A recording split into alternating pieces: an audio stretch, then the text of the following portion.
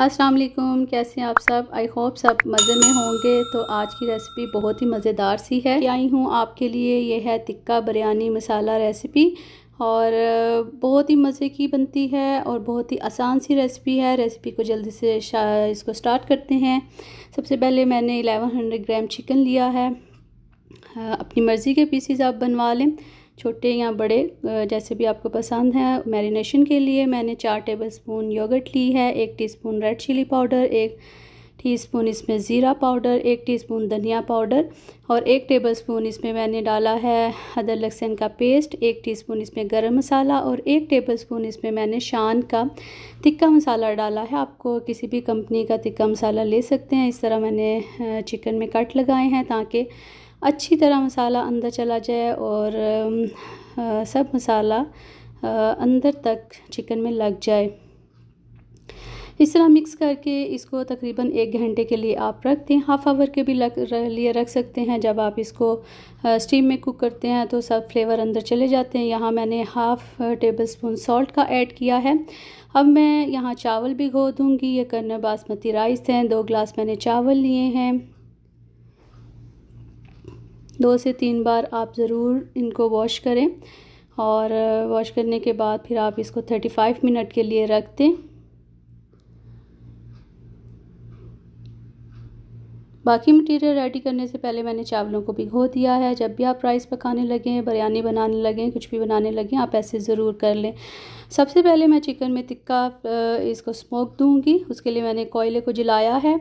और ये स्टेप आप बाद में भी कर सकते हैं पकाने, जब फुल कुक कर लें और स्टार्ट में भी कर सकते हैं। मैंने इसको स्टार्ट में ही किया।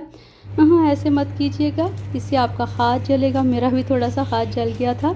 इसको हमेशा किसी चीज़ के साथ पकड़ें और फिर निकालें, क्योंकि कोयला रखने की वजह से ये गर्म हो गया था।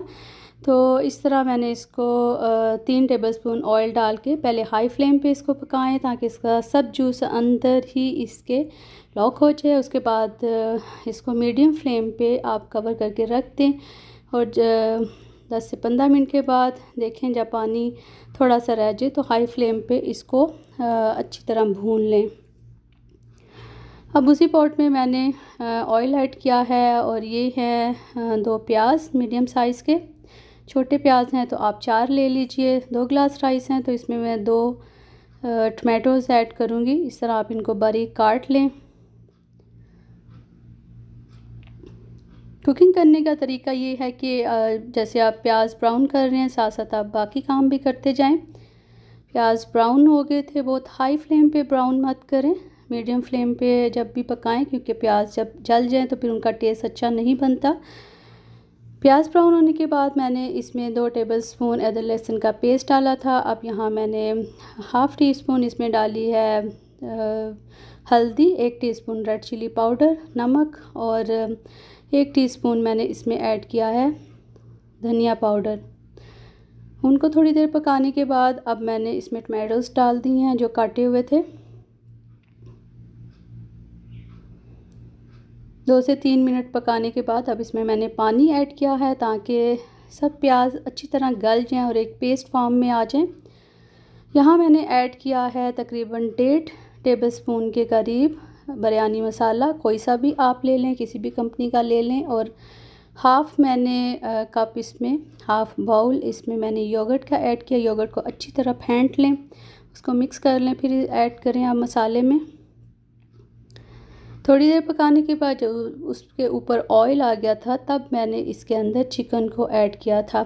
थोड़े दो से तीन मिनट पकाने के बाद मैंने उसको हल्की फ्लेम पे कवर करके पकने के लिए रख दिया था। अब यहाँ मैं राइस बॉईल करूँगी, उसके लिए ये बहुत ही मज़ेदार सी टिप है। इसमें मैंने डाला है धनिया और साथ में एक टेबलस्पून ज़ीरा और एक टेबलस्पून सॉल्ट और पुदीना, इन सब चीज़ों को डाल के आप ऑयल डाल लें अंदर। अपनी मर्ज़ी के मुताबिक आप ऑयल अगर ज़्यादा खाना चाहते हैं, ज़्यादा डाल लें, कम खाना चाहते हैं तो कम डाल के इसको चावलों को बॉईल कर लें। जब पानी बॉईल होना स्टार्ट हुआ तो मैंने इसके अंदर चावल डाले। बिरयानी के लिए फुल कुक चावल नहीं करने होते क्योंकि बाद में इनको अपने दम में लगाना होता है। तकरीबन 85 परसेंट चावल गल जाएँ। तो आप इनको स्टेनर में निकाल लें। फिर मैंने चावलों की लेयर लगा दी है। अब ऊपर मैं डाल रही हूँ फ़ूड कलर। इसको आप ठंडे दूध में मिक्स करेंगे तो फिर ये फैलेगा नहीं। जहाँ आप डालेंगे वहीं पे वो लॉक हो जाएगा। दस मिनट दम देने के बाद मज़ेदार सी तिक्का मसाला बिरयानी रेडी हो गई है। बहुत ही मज़ेदार की बनी थी, बहुत ही टेस्टी बनी थी। देखें, इसका कलर बहुत अच्छा आता है। देखने में भी बहुत मज़े की लगती है और खाने में तो है ही मज़े की। ज़रूर इसको अपने दावतों के मेन्यू में शामिल करें, अपने वीकेंड पे शामिल करें और सबको बहुत पसंद आएगी। ये देखिए इसका लास्ट लुक है, माशाल्लाह बहुत ही मज़े की बनी थी।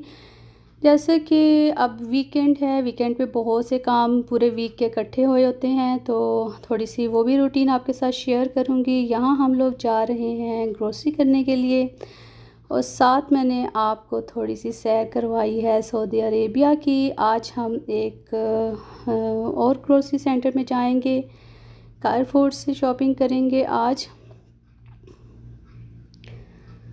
जल्दी हम लोग चले गए थे क्योंकि इसके बाद हमें जाना था वैक्सीनेशन के लिए।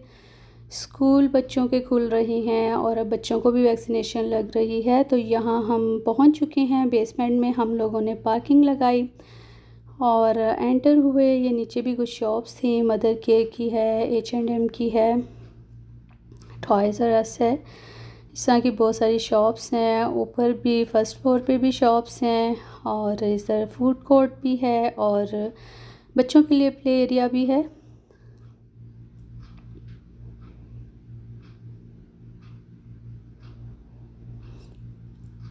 तो यहाँ से हम ट्रॉली पिक करेंगे। यहाँ सब स्प्रे करके सैनिटाइज़ करके रखी होती हैं ट्रॉलीज़ आज मैं बहुत ज़्यादा वीडियो क्लिप्स नहीं बना सकी। हम आए तो बहुत जल्दी थे, लेकिन काफ़ी रश था ग्रोसरी सेंटर में। बिकॉज़ स्कूल खुलने वाले हैं तो सभी लोग वो मैनेज कर रहे होंगे। तो इस वजह से काफ़ी रश था ये ग्रोसरी करके। हम लोग आ गए हैं और वापस आ रहे थे। ये बाहर से मैंने थोड़ा सा क्लिप बनाया।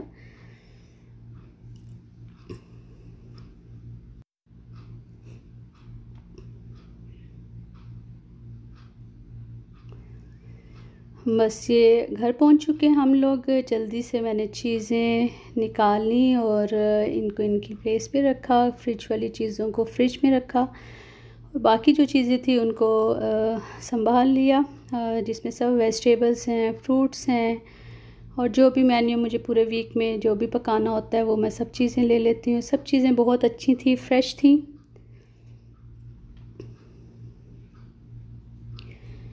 तो बस इनको रखने के बाद अब हम वैक्सीनेशन के लिए जा रहे हैं। तो यहाँ हम पहुँच चुके थे।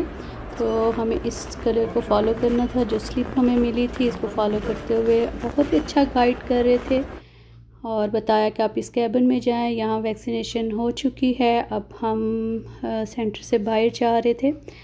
और देखिए कितना बड़ा सेंटर है, बहुत ही नीट एंड क्लीन, सब स्टाफ बहुत अच्छा है, बहुत कोऑपरेटिव है और बहुत अच्छे तरीके से आपको गाइड करते हैं। वैक्सीनेशन हो गई, हम घर जा रहे हैं, दुआओं में मुझे और मेरी फैमिली को याद रखिएगा, अल्लाह हाफिज़।